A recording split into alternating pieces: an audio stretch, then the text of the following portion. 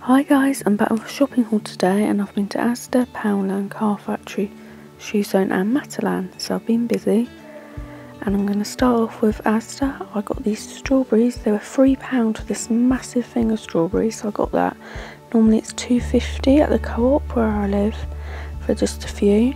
And then of course I needed more yogurts and I think they were either 80 or 88p. And then next up was Poundland and I've got a few bits in there. I picked up these Hessian buntings. I thought they're a pound each and it come in handy for my wedding reception to decorate them. It's a cheap and easy DIY thing to do for the wedding. I picked up them cat treats for a pound and plates for a pound and the chewing gum was 150 and that tub I bought for cat food to put in the dry food I was reluctant it was two pounds but I thought it looked okay and then them yogurts were a bargain. I got them 50p each, I picked up four. And then I moved on to the Card Factory. I needed to get my dad a birthday card from me and the kids and a little gift bag. So that gift bag was 69p and I think both cards were 79p. And then I picked up a tiny box of the chocolates which I thought, oh, it's a bit small actually. I might not give that to my dad. I did end up actually being naughty and eating them, but I'm not. Oh, I'm glad I did in a way because there was only three chocolates in there, and I thought there was four or five. Then I popped into Shoe Zone. I desperately needed some more everyday shoes, the navy ones. They were only $7.99 and I picked up these for $12.99. I needed some going out shoes I was going to be comfortable in. I don't do heels and these would do the trick and then I could just wear them wherever afterwards.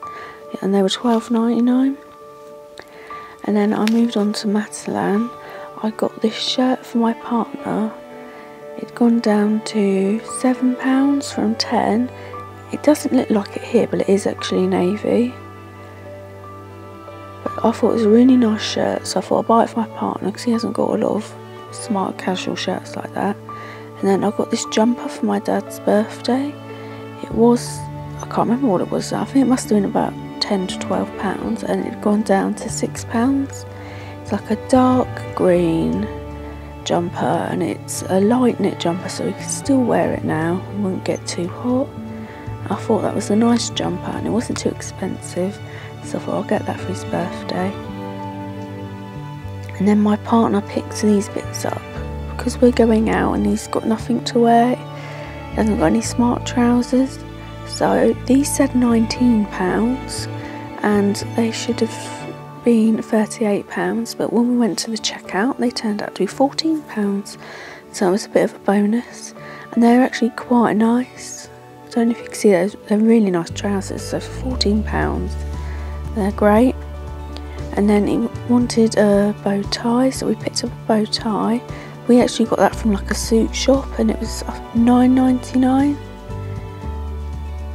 and then we picked up in Matalan this waistcoat.